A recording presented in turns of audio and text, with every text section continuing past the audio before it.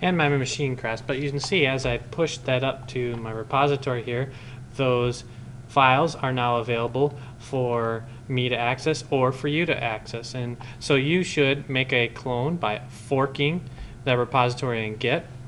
You can also use this HTTP clone URL to fork it on Git because you're going to want to have two repositories.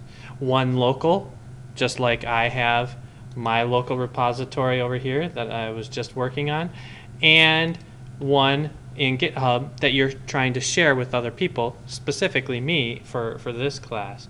And so, just like I work locally and then push my commits to this GitHub account, you're going to work locally and push your commits to your GitHub account. And so that type of communication is is how we're going to work with each other. And so you need to make sure that you do that fork, create your own local repository, and um, communicate with me in that manner.